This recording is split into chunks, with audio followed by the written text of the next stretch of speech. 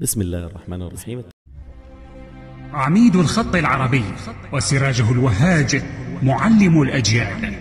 عاد أمجاد الخط العربي إلى بغداد التي كانت موطن الخط العربي. هو هاشم محمد المعروف بهاشم البغدادي نابغة الزمان وبديعه. ولد في بغداد عام 1921 أخذ الخط عن الأستاذ الشيخ علي الفضلي صاحب القاعدة البغدادية للخط العربي. والملا عارف الشيخلي الذي أجازه في فن الخط. وبعدها توجه إلى إسطنبول والتقى بكبار خطاطيها وأواخر خطاطي الدولة العثمانية فأخذ منهم العلوم حتى أجازه آخر كبار أساتذة الخط العثماني وهو حامد الأمدي الذي قال فيه ولد الخط في بغداد وها هو يعود إليها على أيدي قوم.